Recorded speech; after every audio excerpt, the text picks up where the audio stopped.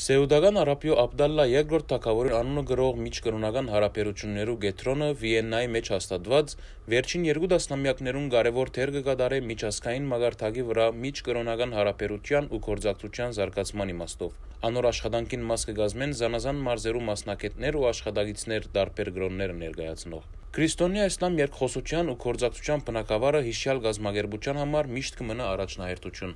Այս զիրեններս անգշարունակե գազմագերբել համակումարներ, սեմինարներ ու մասնակիտական դասընթացքներ։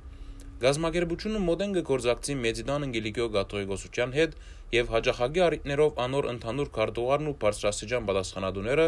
խորհրդակցություն ունենան վեհապար հայրաբեդին հետ Քայսիդին առնչված աշխատանքներուն ու ծրագիրներուն։ Մեծիդան Անգելիկիո Կաթողիկոսությունը նաև իր ներկայացուցիչներուն ջամփով իր հետևողական մասնակցությունը կբերե գազմագերբության, հատկապես քրիստոնյա իսլամ երկխոսության առնչված աշխատանքներուն։ Հայտնենք, որ շուրջ տարի մը առաջ նորին սրբությունը տասախոսություն տված էր Վիեննայի մեջ Կայսիդի գազմագերբած միջկրոնական միջազգային համակումարին եւ անոր արած որոշումներուն լույսին տակ միջին արևելքեն ներս քրիստոնյա իսլամ կորզակցություն ամբրամնտելու կոչված կորզատիր մարմինը ստեղծված էր։